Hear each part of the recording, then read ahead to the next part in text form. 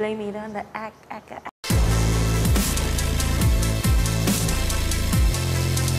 Hey guys, welcome to this week's episode of Things to Do in Lagos.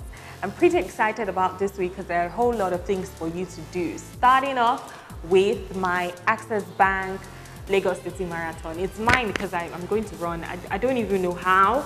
I've not even gotten my kids. I've not registered though, but so if you know you want to be a part of it, make sure you go up and register on their website and pick up your kids before Saturday morning.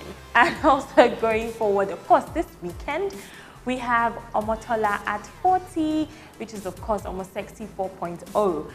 Um, starting from Wednesday up until Sunday, she has like a whole lot of things packed. It's a five-day event and then wrapping it up on Sunday evening with a ball, a really nice, almost sexy ball happening live at Landmark Event Center. And happening on Saturday morning for all the Fit Fam family is the Zumba exercise with Abimbola Craig. Of course, it's Tiwa from your favorite Skinny Girl in Transit show.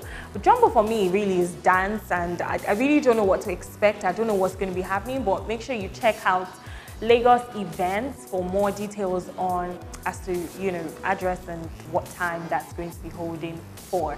And if you know you don't want to do any of these three things that I just mentioned, or probably because you didn't get an invite, make sure you know that Fridays are like release day for movies. Fifty Shades Freed is coming out. I'm going to be there to see that one. Royal Hibiscus Hotel is also coming out. I mean, I've heard it's a pretty good movie. So get yourself engaged and see any of these movies, or you can even visit Brass and Coppers Lounge.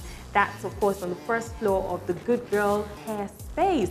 It's really beautiful there. Ambience is lovely. You need to just go and check it out. Their food is amazing. All kinds of beverages and cocktails you can think about.